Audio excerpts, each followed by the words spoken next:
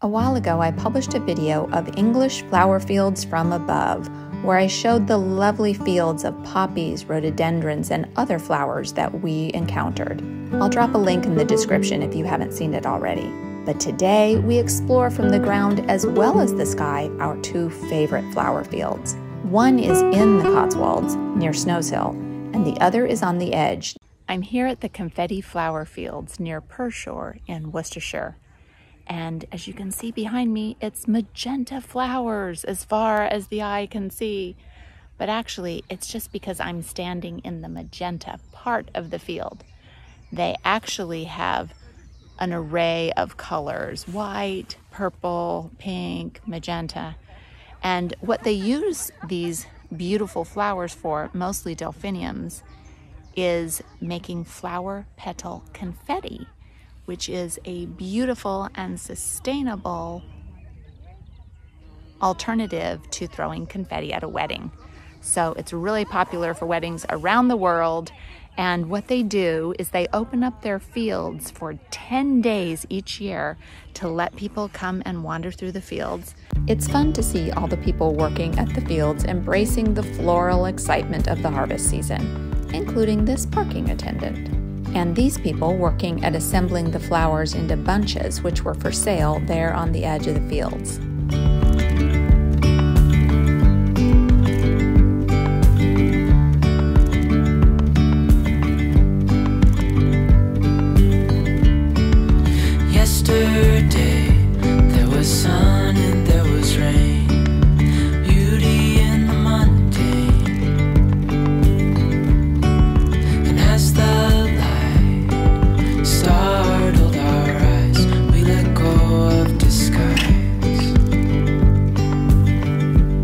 Course, we wanted to come here on a bright, sunny day with a brilliant blue sky, but that didn't happen because the fields are only open for 10 days every summer, and that's the only window of opportunity you have. And I looked at the weather, and it was supposed to rain every day except for this day. So at least it's not raining, but we would have liked a nice bright sunny day.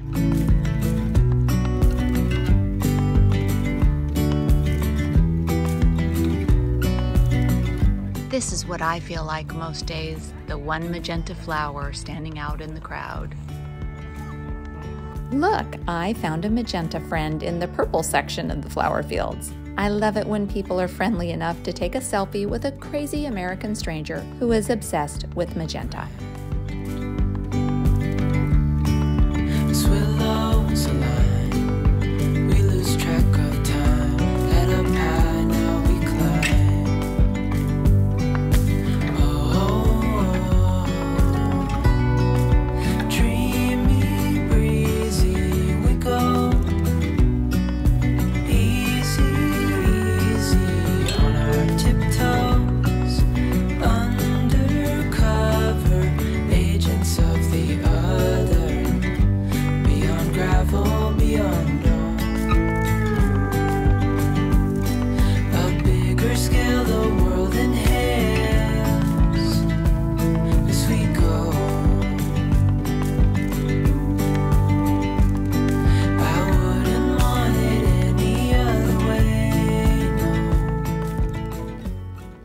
Finally got Ian to pose with me for a selfie before we left the confetti fields. In addition to the delphinium fields being grown for confetti, they also have some lovely wildflower fields here in Wick. I loved seeing the brilliant orangey red poppies, and I loved seeing the happy bees buzzing around between the flowers.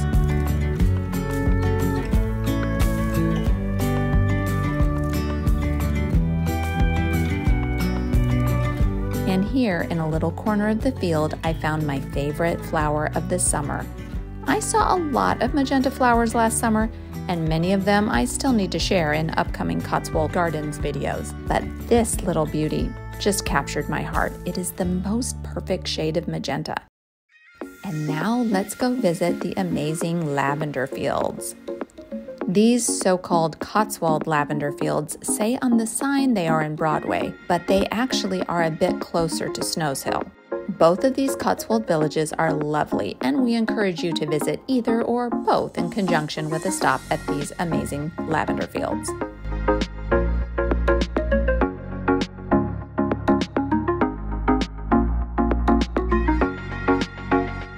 One thing that's really different about these lavender fields from the other flower fields we have seen and visited is that the minute you walk up to the fields, you are greeted with this amazing smell of lavender. And the other flower fields really haven't had a fragrance, but this smell is amazing.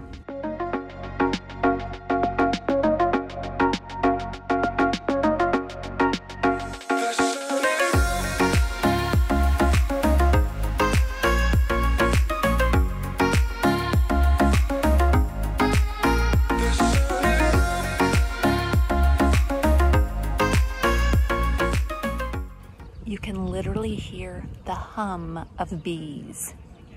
It's this big buzzing sound. Sounds like a drone flying, but it's just all the bees loving being in this lavender.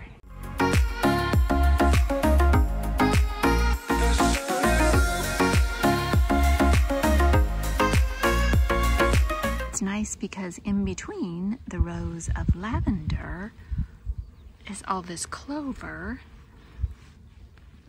that the bees are also really enjoying.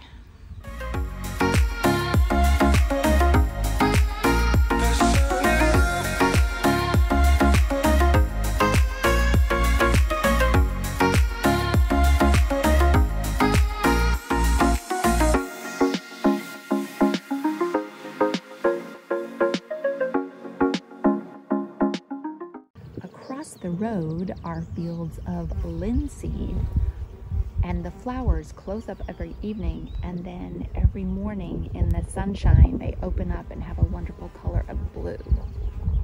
In the fields, they are trialing new types of lavender and growing techniques. And actually, the clover between the rows of lavender is a natural nitrogen fixing companion, which helps the lavender to grow. I found some magenta clovers.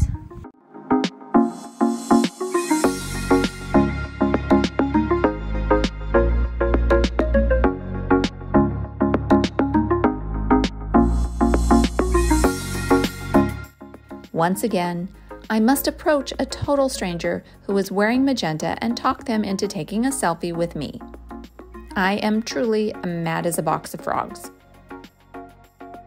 If you are enjoying this video, please don't forget to click the like button so YouTube will share the video with more viewers.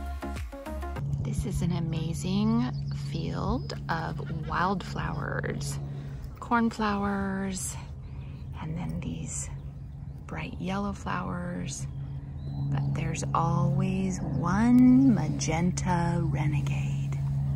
That's me.